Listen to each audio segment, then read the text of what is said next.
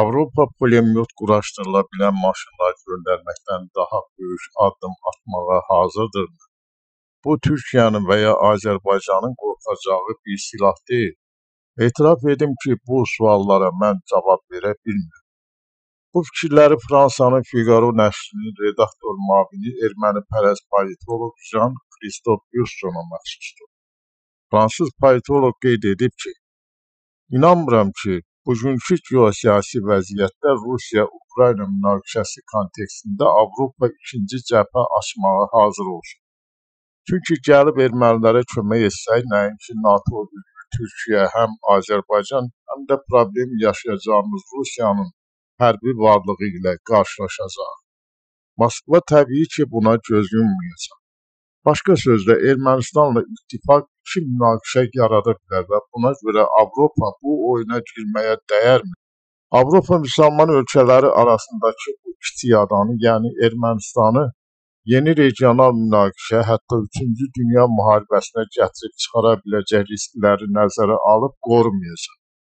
Belə deyək ki, sabah Ermənistana hücum etmək qərarına gəlsələr, yaxud İrəvanda Rusiya pərəst çevriliş baş versə, Avropa 2-3 min kilometr məsafədən buna müdaxilə edəcəkmi?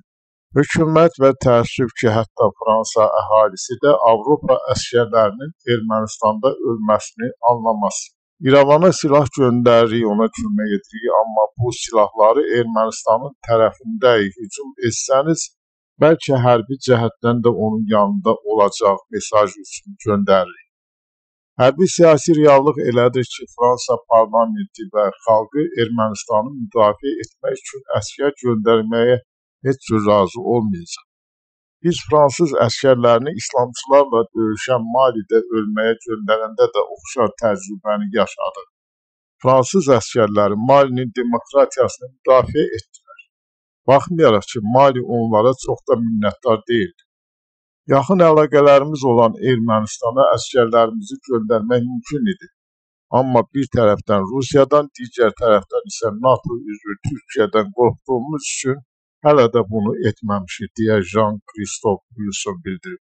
Politoloq etiraf edib ki, Avropa o cümlədən Fransa Türkiyədən çox qorxur.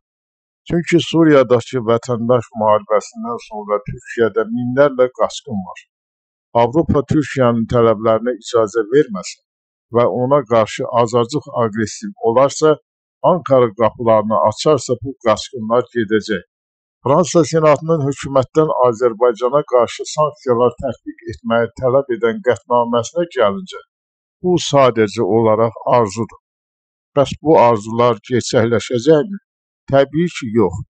Nə Avropa, nə də Fransa onları həyata keçirəcək. Çünki sanksiya tətbiqinin arzu olunan nəticələrə gətirib çıxaracağına əmin deyiləm. Dəyişən yeganə amil gördüyümüz kimi bu gün Fransa ilə Azərbaycan arasında münasibətlərdəki böyük gərginlikdir.